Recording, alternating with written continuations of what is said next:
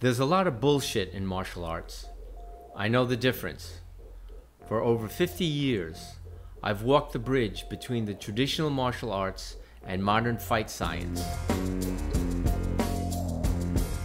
I'll show you what works and tell you why.